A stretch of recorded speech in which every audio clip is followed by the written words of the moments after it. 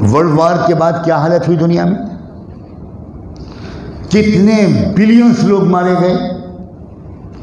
और आप किसी हिस्ट्री के प्रोफेसर से पूछिए कि वर्ल्ड वार हुई क्यों थी? तो मुझे नहीं लगता कि कोई बता पाएगा सही जवाब।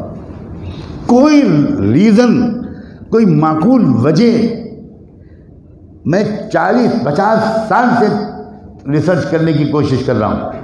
कि जंग अजीम की वजह क्या थी?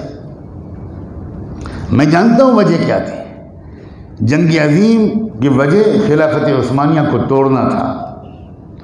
जंग अजीम का मकसद पूरी इस्लामिक वर्ल्ड को छोटे छोटे मोहल्लों में और आपस में लड़ने वाली छोटी छोटी रियासतों में और अपने ग़ुलामों को बादशाह और अमीर बनाकर तख्त व ताज देने के मकसद से वर्ल्ड वॉर लड़ी गई थी।